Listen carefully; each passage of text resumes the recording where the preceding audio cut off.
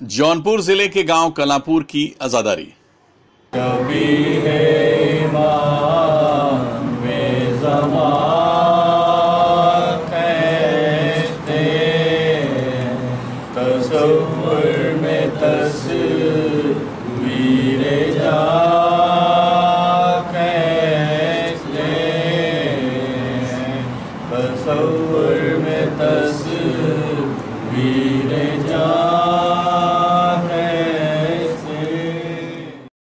گاؤں کے بیچو بیچ موجود برگت کے اس پرانے درخت کو اگر اللہ رب العزت تھوڑی دیر کے لیے زبان عطا کر دیں، تو یہ درخت کئی صدیوں کی تاریخ کو ہم لوگوں کے سامنے پیش کر دے گا۔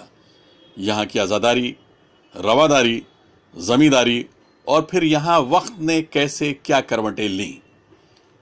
اور کس کی لگی سے اسے کب اور کتنے زخم لگے؟ سب کا گواہ یہ برگت ہے، لیکن افسوس اس نے دیکھا اور سنا تو سب کچھ ہے، لیکن بیان نہیں کر سکتا۔ اس گاؤں کی تاریخ کے جانکاروں کا کہنا ہے کہ اس گاؤں کو حضرت میر کلان نے اپنا مسکن بنایا اور انہی کے نام سے یہ گاؤں بعد میں کلاپور کے نام سے جانا جانے لگا۔ ویسے، گاؤں کی یہ آبادی کا بڑا حصہ اہل ہنود ہے، لیکن اہل تشیع کی اہمیت زمینداری سے پہلے بھی تھی اور آج بھی ان کی تعلیمی صلاحیت، خلوص اور برتاؤ نے وہ اہمیت برقرار رکھی ہے۔ کافی دنوں ان لوگوں کا قیام ملتان میں رہا اور ملتان سے پھر وہ جونپور آئے اور جونپور میں انہوں نے قیام کیا تو یہ کلاپور پہنچے اور کلاپور کو آباد کیا انہوں نے۔ کلاپور میں آبادی ان کی، انہی کے خاندان والے یہاں کے اوپر آباد ہوئے اور پھر اس کے بعد آبادی اور لوگوں کو انہوں نے آباد کیا اور انہوں نے یہاں کے اوپر عزاداری شروع کی۔ انہی کی اولادیں ہیں جو آج یہاں کے اوپر ماشاء اللہ سے بہت سے امام باڑے بنے ہوئے ہیں اور بڑے انہماک سے لوگ ازاداری کرتے ہیں۔ سب لوگ بہت دور دور رہتے ہیں، لیکن محرم میں زیادہ تر لوگ اکٹھا ہو جاتے ہیں اور ازاداری کرنا شروع کرتے ہیں۔ گاؤں میں ازاداری کے سلسلے کے بارے میں سید اکبر علی ایڈوکیٹ کہتے ہیں کہ یہ بات پختہ طور پر تو نہیں، لیکن انہیں جو بزرگوں نے بتایا ہے، اس کی بنیاد پر بتا سکتے ہیں۔ یہ گاؤں پانچ پریواروں پر آدھارت ہے اور انہی پریواروں نے یہاں امام باڑے تعمیر کرائے قدیم امام باڑہ جو تھا، وہ حاجی حسین بخش کا تھا، اسی کے آس پاس یا اس کے کچھ ہی دنوں بعد تعمیر ہوا یہ امام باڑہ امید علی صاحب کا۔ اور امید علی صاحب کے امام باڑے کے بعد تب علی حسن صاحب کا امام باڑہ اور اسی کے ساتھ ساتھ یہاں امام باڑہ یہ قائم ہوا امانہ علی صاحب کا۔ سید فضل امام اپنے خاندانی امام باڑے اور اس میں ہونے والی ازداری کو کچھ اس انداز میں بیان کرتے ہیں۔ صبح ایک مجلس ہوتی ہے ہر روز نو بجے کے آس پاس ایک گھنٹے کی اور پانچ تاریخ کو حضرت عباس کی حاضری سات تاریخ کو حضرت قاسم کی مہدی آٹھ تاریخ کو حضرت عباس کا علم آٹھ تاریخ کی شب کو حضرت عباس کے علم کی واپسی کے بعد رسول اللہ کا ممبر لوگ یہاں بھرنے آتے ہیں اور پھر گیارہ تاریخ کو ایک زرانی مجلس ہوتی ہے اور بارہ کو فاتح کی مجلس ہو کے ہم لوگ امام باڑہ بڑھوا کے چلے جاتے ہیں۔ برگت کے پیڑ کے سامنے کئی امام باڑے ہیں، جس میں سید باقر حسنین صاحب کا امام باڑہ بھی ہے۔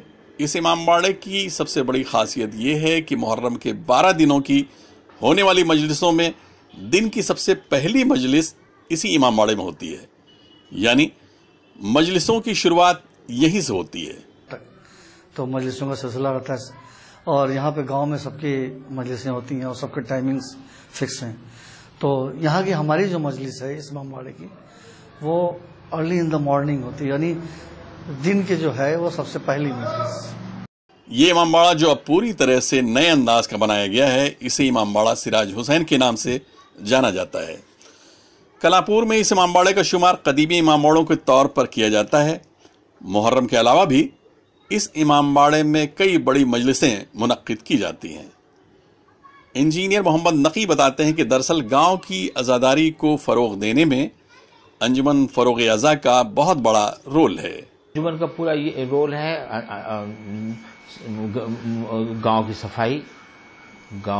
جلوسوں کی پابندی، وقت کی پابندی مجلسوں میں لڑکے پہنچے، اس کے لیے ان کو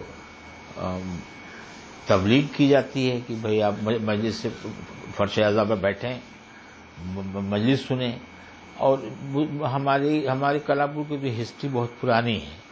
یہ امام باڑہ راحت منزل میں ہے، جسے انجینئر صاحب کے امام باڑے کے نام سے جانا جاتا ہے۔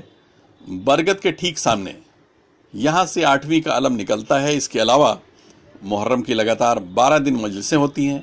یہ سلسلہ دو مہینے آٹھ دن تک چلتا رہتا ہے۔ محرم کو ہمارے خیال سے جو بڑا عالم نکلتا ہے اس امام باڑے سے وہ خاص ہے۔ اس کے بعد تو پورے محرم میں ہم لوگ جیسے چوبیس محرم کو تابوت اٹھاتے ہیں جناب زین العابدین اسلام کا یہ ایک بڑا پروگرام ہوتا ہے دو تین انجمنیں آتی ہیں۔ تو پروگرام تو پورے محرم بھر چلتا ہی رہتا ہے یہاں پہ۔ ہاں، ہمارے امام باڑے میں مین پروگرام جو ہوتا ہے وہ آٹھ کے عالم کا ہوتا ہے۔ جو آٹھ کو عالم جو نکلتا ہے اٹھائیں کو۔ کلامپور کے قدیم ترین امام باڑوں میں اس امام باڑے کا ذکر بھی کیا جاتا ہے۔ اسے ابرار حسین عرف بھگو میاں کے امام باڑے کے نام سے پکارا جاتا ہے۔ محرم کے علاوہ بھی اس امام باڑے میں آزاداری کا سلسلہ جاری رہتا ہے۔ ہمارے سامنے سے گزرے ہیں، جن سے بھی ہم لوگوں نے پوچھا ہے۔ تو ان کا کہنا یہی ہے کہ یہاں پہ جو مجلسیں ہوتی ہیں اور اور یہ امام باڑہ شروع سے لوگ دیکھتے آ رہے ہیں کہ یہاں پہ کنٹینیو مجلسیں ہو رہی ہیں۔ تو اس امام باڑے میں دو حاضری کی مجلس ہوتی ہے۔ ایک چار محرم کو ہوتی ہے اور ایک آٹھ محرم کو ہوتی ہے۔ تو چار محرم کو یہاں پہ کھچڑا کھلایا جاتا ہے، جو گاؤں میں اور لوگوں میں کافی پاپولر ہے کہ مطلب لوگ اس کھچڑے کو کھانے کے لیے اور مجلس کے لیے آتے ہیں۔ اور آٹھ تاریخ کو یہاں پہ حاضری کی مجلس ہوتی ہے۔ اور جیسا کہ آپ دیکھ رہے ہیں کہ ہر گھر میں جو ہے، اس گاؤں میں ایک امام باڑہ ضرور ہے۔ مطلب ایسا نہیں کہ کوئی کامن امام باڑہ اور وہاں پہ مجلس ہو رہی ہو۔ ہر گھر کے لیے ایک الگ اپنا ایک امام باڑہ ہے۔ اس امام باڑے کو ابو محمد عرف ابو میاں کے نام سے یا پھر شمو میاں کے نام سے جانا جاتا ہے۔ یہ بھی قدیم امام باڑوں میں سے ایک ہے۔ آزاداری کا سلسلہ یہاں بھی محرم کے علاوہ جاری رہتا ہے۔ چھ محرم کو مرحوم حسین مہندی صاحب کی حاضری یہاں پہ ہو رہی ہے۔ جو کہ ابھی ہوتی چلی آ رہی ہے جس میں کہ قمر صاحب مرثیہ کرتے ہیں، پڑھتے ہیں، اور ان کے بعد مرثیے کے بعد یہاں پہ نوح خانی ہوتی ہے، اور بعد میں پھر کھانے کا اہتمام ہوتا ہے، جس میں کہ سارے مومنین یہاں پہ ترک لذات کھانے میں کھانا، کھانے کے بعد پھر عورتوں کے کھانے ہم لوگ گھر پہ ان کے وہاں پہ تقسیم کرتے ہیں۔ اور اس کے ایسے ہی سلسلے، پھر اور دس دن تک مجلسیں کنٹینیو رہتی ہیں صبح اور شام۔ اس امام باڑے کو سرکاری امام باڑے کے نام سے جانا جاتا ہے۔ یہاں کلاپور کی سب سے پرانی تربت رکھی ہوئی ہے۔ ایسا مانا جاتا ہے کہ یہ تربت میر کلا خود یہاں لے کر آئے تھے۔ اس تربت کو آج بھی اسی انداز میں رکھا گیا ہے۔ سن انیس سو چار میں اسے مرحوم جعفر حسن صاحب نے بنایا تھا، جو پرانے انداز میں بنا ہوا تھا۔ سن انیس سو چھبیس میں مرحوم اصغر حسن صاحب یعنی جس صاحب نے اسے نئے انداز میں بنایا تھا۔ اور وہ خود اس امام باڑے میں ایک خاص انداز میں مرثیہ پڑھتے تھے، جسے آج بھی لوگ یاد کرتے ہیں۔ اصغر حسن جج تھے وہ ہائی کورٹ میں تھے، جج۔ وہ پورے محرم میں جو انہوں نے مرثیہ پڑھا، اس کا اپنا ایک انداز الگ تھا۔ تو ہر آدمی کے اپنے الگ انداز تھے۔ لیکن کلامپور میں مرثیہ پڑھنے والوں کی نہ تو کبھی کمی ہوئی نہ ہے۔ تھوڑا سا دور کی جاتی ہے، پھر اس سال کی کمیاں، اگلے سال دور کی جاتی ہے۔ سن انیس سو سینتالیس میں جب ملک کا بٹوارا ہوا تو دوسرے علاقوں کی طرح اس گاؤں کی بھی ایک بڑی آبادی پاکستان چلی گئی، جس کا اثر یہاں کی آزاداری پر پڑا۔ علم تازیہ اور تربت اٹھانے کے لیے لوگوں کی اچانک کمی ہو گئی۔ لیکن آزادی کے ستر لاکھوں کی طرح اس گاؤں کی بھی ایک بڑی آبادی پاکستان چلی گئی۔ جس کا اثر یہاں کی ازاداری پر پڑا۔ علم تازیہ اور تربت اٹھانے کے لیے لوگوں کی اچانک کمی ہو گئی۔ لیکن آزادی کے ستر سال کے بعد اب یہاں کی آزاداری پھر اسی عروج پر پہنچ گئی ہے جیسے آزادی کے پہلے ہوا کرتی تھی۔ لڑکے رہی نہیں گئے تھے کہ تربت اور تازیہ کندھے پر رکھیں۔ تو ہم لوگ عورتیں کا دل چاہتا تھا کہ جا کے اٹھا کے لے جائیں۔ سارے یوتھ جو تھے سب پاکستان چلے گئے تھے۔ مشکل سے بارہ چودہ لڑکے رہتے تھے۔ وہ بھی چھوٹے چھوٹے جو جا نہیں پائے تھے۔ پری پارٹیشن اور پوسٹ پارٹیشن لیکن یہ اللہ کا کرم ہے اور شاید مولا کا صدقہ ہے کہ اس گاؤں کی آزاداری پر کسی چیز کا کوئی بھی ایڈورس افیکٹ نہیں پڑا۔ بلکہ یوں کہا جائے کہ آزاداری اپنی ایک ایک قدم کر کے آگے بڑھتی رہی۔ اور ماشاء اللہ جیسے ہو رہی تھی، سنتے آ رہے ہیں کہ کچھ اس سے بہتر یا کچھ اس سے کم یا کچھ ویسا ہی آزاداری ماشاء اللہ یہاں ہو رہی ہے۔